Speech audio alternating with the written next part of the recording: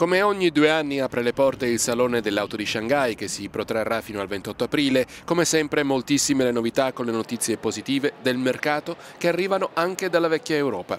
I marchi fanno a gara per presentare le vetture più avveniristiche. La Citroën svela il suo SUV C5 Aircross disponibile sul mercato cinese in Europa dal 2018. Maserati sotto i riflettori con la consegna al suo nuovo proprietario cinese della vettura 100.000 prodotta presso lo stabilimento di Grugliasco. La Cina è il principale mercato di Maserati per la quattro porte. Tra le altre novità la nuova BMW Serie 5 berlina nella versione a passo allungato.